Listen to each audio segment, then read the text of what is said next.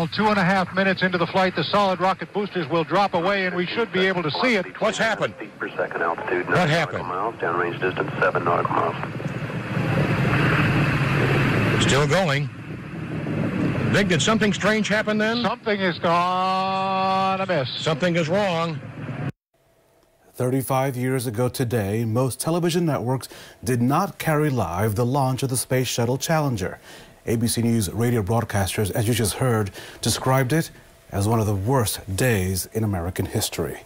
Then President Ronald Reagan described the depth of the nation's loss by saying in part that the Challenger crew slipped the surly bound of Earth to touch the face of God. I recall that day so vividly. Megan, I watched the launch and explosion in my high school library. And as you know, the Challenger mission was special because a teacher was on board heading to space for the very first time. Yeah, it's so memorable, Raphael. A science teacher from Indiana was almost on that shuttle flight. He was Indiana's alternate to the nationwide contest, and I spoke with him about that moment in history. Three, two, one, and liftoff. This 1986 space shuttle launch captured the nation's attention. And it has cleared the tower. In 73 seconds into the flight, the Space Shuttle Challenger exploded.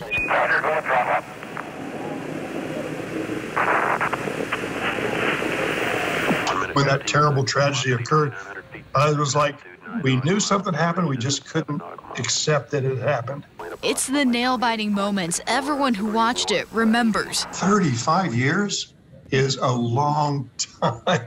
Indianapolis teacher Rick Crosslin especially remembers the moment. Uh, to me, it just seems like it was yesterday. We remember Rick like it was yesterday. WRTV interviewed him as he applied to go on this space mission. I remember when Reagan announced the Teacher in Space program. I had already written like five letters to, to NASA. A bunch of teachers had, because teachers are crazy. We like to do, we like to live what we teach. And the students wrote for you too.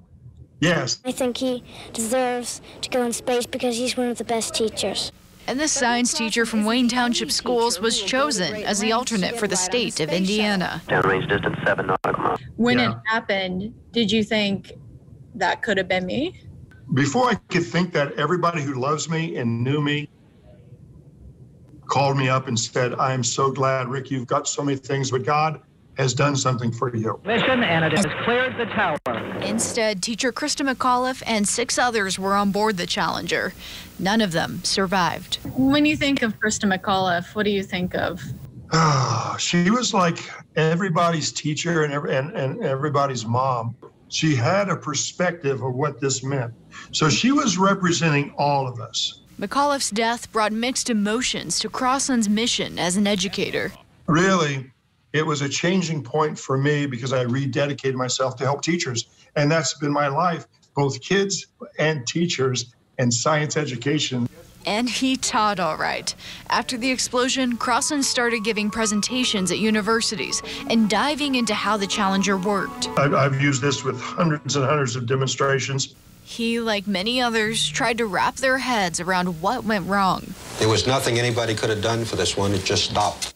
And Crosslin hasn't stopped. He teaches at every school in the district. His lessons help teachers teach and connect students to science. Push, man, come on. And I tell them, we will see a woman walk on the moon.